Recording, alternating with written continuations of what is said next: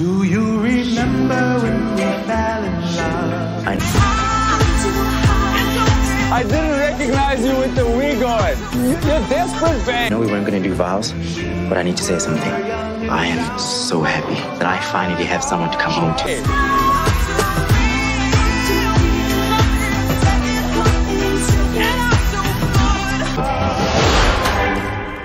Wait, wait, wait, wait. Did, did I make this all up in my head? Me. Yeah.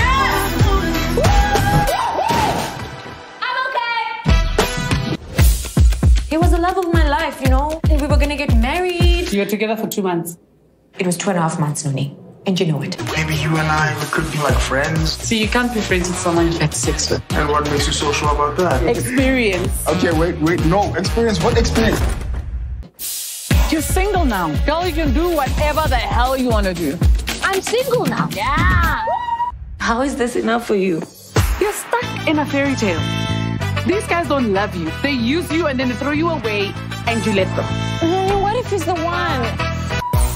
Three simple rules, right? Number one, do not give out your real phone number. Number two, do not talk about your exes. Number three, don't have sex with a guy more than once. Otherwise, it counts as a relationship. Actually, we, we should stop. Sorry. We, yeah. I mean, we could stop tomorrow. Yeah. Tomorrow. Tomorrow works. Tomorrow. Is your dad's name Oliver? Cause you gonna be all over this.